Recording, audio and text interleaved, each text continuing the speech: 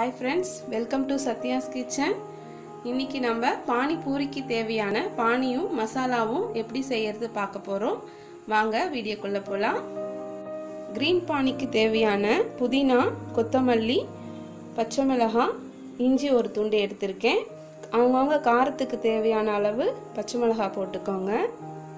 Sweet பானிக்கு தேவையான புளி ஒரு லெமன் அளவு எடுத்துக்கோங்க. வெல்லம் ஒரு துண்டு. மசாலாக்கு தேவையான உருளைக்கிழங்கு ரெண்டு வேக வச்சு வச்சுருக்கேன். வெங்காயம் ரெண்டு சுருவாக கட் பண்ணி வச்சுருக்கேன். கொத்தமல்லி தேவையான அளவு. மிளகாத்தூள் ரெண்டு டீஸ்பூன். சாட் மசாலா ரெண்டு டீஸ்பூன். உப்பு தேவையான அளவு. இப்போ எப்படி செய்கிறது பார்க்கலாம் ஃபஸ்ட்டு நம்ம இந்த புளியையும் வெல்லமும் போட்டு ஊற வச்சிடலாம்.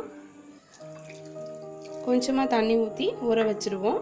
அது ஊறிட்டே இருக்கட்டும். இப்போ நம்ம க்ரீன் பானி எப்படி பண்ணுறது பார்க்கலாம். இந்த புதினாவும் கொத்தமல்லியும் பச்சை மிளகா இஞ்சி எல்லாம் போட்டு நம்ம அரைச்சிக்கலாம். இப்போ க்ரீன் பானி அரைச்சாச்சு.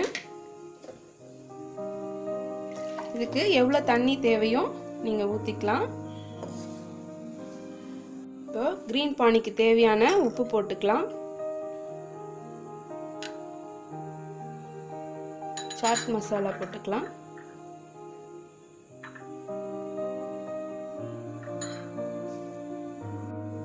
இப்போ நான் இந்த புளியும் வெல்லமும் நல்லா கரைச்சிட்டேன். இது நம்ம இந்த க்ரீன் பானிலேயே வடிகட்டிக்கலாம். இப்போ க்ரீன் பானி ரெடி ஆயிடுச்சு. இப்போ நம்ம மசாலா எப்படி பண்ணுறது பார்க்கலாம். இப்போ நம்ம உருளைக்கிழங்கு வேக வச்சதை போட்டுக்கலாம். இதை நல்லா மெசிச்சுக்கலாம் இப்போ நம்ம வெங்காயமும் கொத்தமல்லியும் போட்டுக்கலாம். தேவையான அளவு மிளகாத்தூள் போட்டுட்டு சாட் மசாலா போட்டுக்கலாம். உப்பு தேவையான அளவு போட்டு நல்லா பிசைஞ்சுக்கலாம். வேணும்னா இந்த பானியை நீங்கள் ஒரு ஸ்பூன் ஊற்றிக்கலாம் இன்னும் டேஸ்ட் நல்லாயிருக்கும் இப்போ மசாலா ரெடி ஆயிடுச்சு.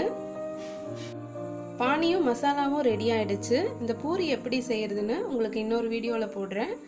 இந்த வீடியோ உங்களுக்கு பிடிச்சிருந்தா ப்ளீஸ் லைக் பண்ணுங்கள் ஷேர் பண்ணுங்கள் மறக்காமல் சப்ஸ்கிரைப் பண்ணுங்கள்